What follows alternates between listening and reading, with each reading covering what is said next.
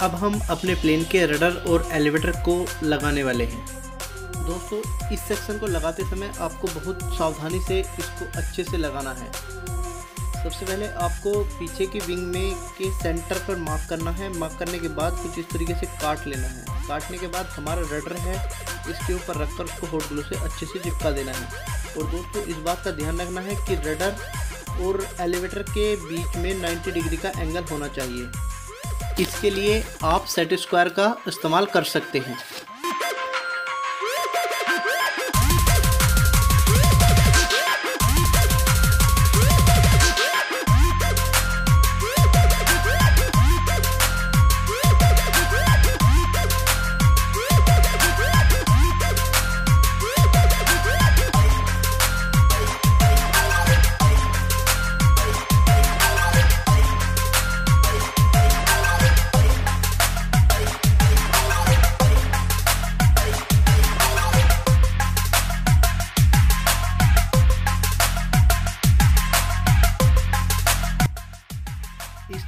Tail section को अब हम फ्यूजराज के टेल सेक्शन से ज्वाइन करने वाले हैं। ज्वाइन करने के लिए आपको टेल सेक्शन पर थर्माकोल का एक टुकड़ा इस तरीके से रखना है।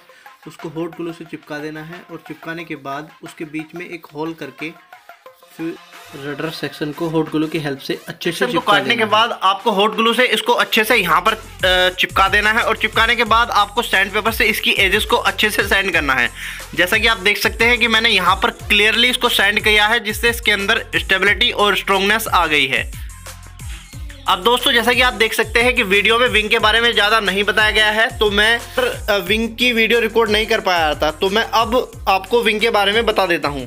जैसे ही आप अपना विंग बनाना शुरू करोगे तो आपके पास विंग के दो सेक्शन होंगे लेफ़्ट और राइट सेक्शन और आपको डायमेंशंस में जॉइनर दिया हुआ है, उस जॉइनर को आपको तीन एम एम प्लाईवुड के टुकड़े पर रखकर उसको काट लेना है और काटने के बाद आपको लीडिंग एज से 5.5 सेंटीमीटर पर मार्क करना है और मार्क करने के बाद आपको दोनों साइड एक एक होल कर लेना है। उस होल में आपको तीन एम एम प्लाईवुड का जॉइनर है, उसको अंदर डालकर हॉट ग्लू से अच्छे से चिपका देना है।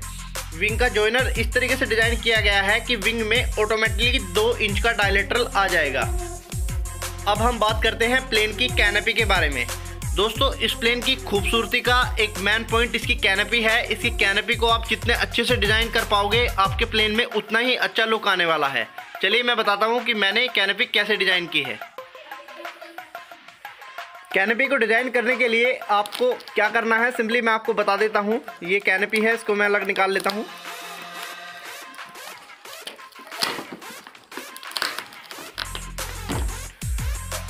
अब आपके पास कैनपी नहीं है। आप सोचो कि आपको कैनपी बनानी है। तो बनाने के लिए आपको सिंपली क्या करना है? सबसे पहले तो आपके नो सेक्शन के पास ये वाला एक सेक्शन दिया हुआ है। डायमेंशंस में मैं इसका नंबर आपको ऊपर दे रहा हूँ। इसको काट कर सबसे पहले आपको इसको ज्वाइन करना है। अच्छे से ज्वाइन करने के बाद आपके पास ये नो सेक्शन का भी डायमेंशन उसमें दिया है। आप नो सेक्शन को यहाँ पर इसे अच्छे से कैनेपी के लिए सिंपली आपको क्या करना है? आपको एक थर्माकोल का या कोरोशीट या डेप्रोन का टुकड़ा लेना है। उसको यहाँ पर इस तरीके से रख कर, रखने के बाद उसको अच्छे से चारों तरफ़ से मार्क कर लेना है और मार्क करने के बाद इसको काट लेना है। काटने के बाद आपके पास ये सेक्शन कुछ इस तरीके से बन जाएगा। इसके बाद आपको क्या करना है? सिंपली एक और टुकड़ा लेना है कोरो या थर्माकोल का जिससे भी आप बना रहे हैं, उसको सिंपली यहाँ पर रखना है, इसके जस्ट ऊपर करके, और इस तरीके से इसको यहाँ पर काट लेना है। काटने के बाद आपको इस तरीके से इसको यहाँ पर चिपका देना है।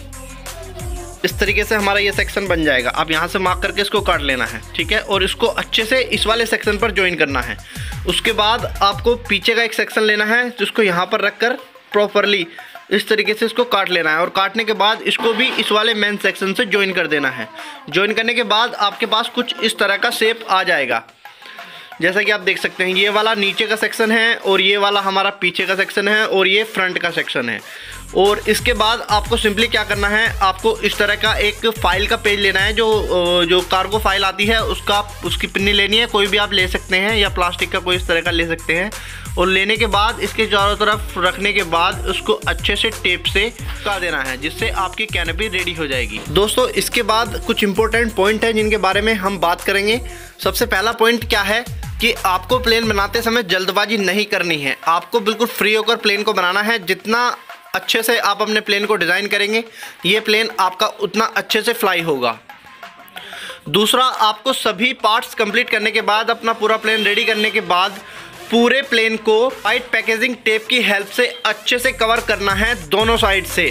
और आपको कवर करते समय इस बात का ध्यान रखना है कि जो आप लगाएँगे वो टेप इस तरीके से लगी हो, ना कि इस तरीके से। अगर आप इस तरीके से टेप को लगाओगे तो आपका विंग क्रैश में टूट सकता है। अगर आप इस, इसको, टेप को इस तरीके से लंबी करके लगाओगे तो आपका प्लेन जो है क्रैश को झेल लेगा और विंग नहीं टूटेगा। और इसी तरीके से आपको पूरे प्लेन के सेक्शन पे आप देख सकते हैं कि मैंने कहीं भी कोई ऐसा सेक्शन नहीं छोड़ा है जहाँ पर पैकेजिंग टेप ना हो। तो दोस्तों, इसको अच्छे से कवर कर लेना है, क्योंकि थर्मोकोल काफ़ी वीक होता है डेप्रोन कोरोसिट जितनी भी होती है, पहले क्रेस में टूट जाता है। अगर आप इसको टेप से लेमिनेट करोगे तो ये काफ़ी स्ट्रॉन्ग हो जाता है। तो सबसे दूसरा पॉइंट यही है कि आपको इसको पूरे प्लेन को पैकेजिंग टेप की हेल्प से कवर करना है।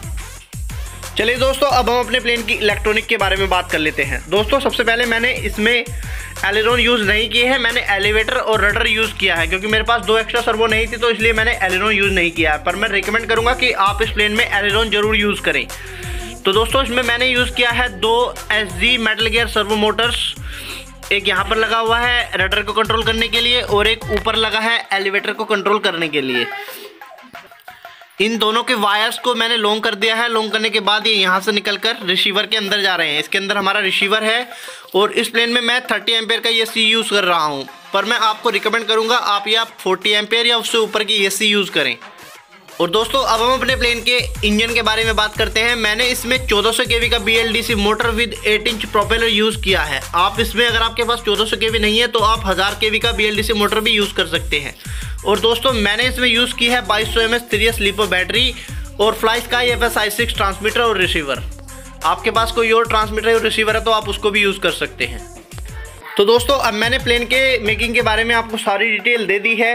बस अब आप इसको प्लेन को बनाइए और उसको अच्छे से फ्लाई किए। आपका प्लेन बहुत अच्छे से फ्लाई होगा। वीडियो में दोस्तों, अगर चैनल पर नए हैं तो चैनल को सब्सक्राइब ज़रूर करें और वीडियो को लाइक करें और ज़्यादा से ज़्यादा दोस्तों में शेयर करें। तो चलिए दोस्तों, मिलते हैं आपसे फ्लाइंग की अगली वीडियो में। Thank you for watching